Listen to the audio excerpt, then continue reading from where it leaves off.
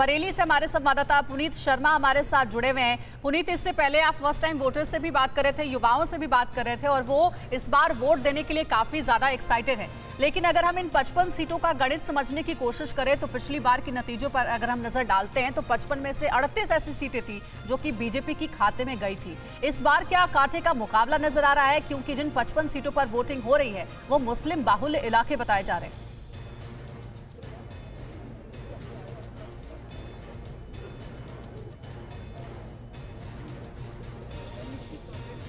पुनीत, आप हमें सुन पा रहे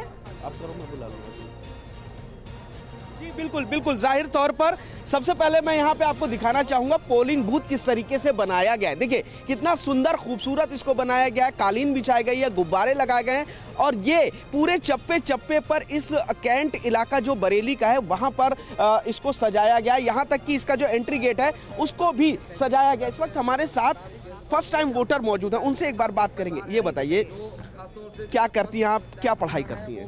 मैं एलएलबी कर रही हूँ उसके साइड में सीएस कर रही हूँ। अच्छा। तो मेरा नाम रिद्धि गुप्ता है। पहली बार आप वोट डालने आई क्या आ रहा था आपके जहन में वोट डालते समय? डर लग रहा था कुछ या कुछ अजीब सी फीलिंग नहीं, डर नहीं था, क्योंकि ऑलरेडी प्रिपेयर थे उस चीज़ के लिए कि वोट देना है और क्यों देना है, ये भी पता था क्या क्या प्रायोरिटीज़ थी, किस चीज़ को देख के हम दे रहे हैं। सब पता था, बस ये था कि प्रोसेस कैसे होता है तो वो देख के थोड़ा डरे थे बट ठीक है। और प्रोसेस आसान है समझ के प्रोसेस हाँ जी हाँ जी काफ़ी आसान है। पापा से एक हफ़्ते से यही पूछे थे कैसे डलेगा कैसे डलेगा?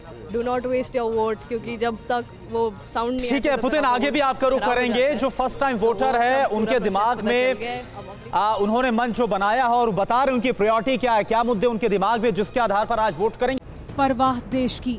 सोमवार से शुक्रवार रात 10 बजे टीवी 9 भारतवर्ष पर।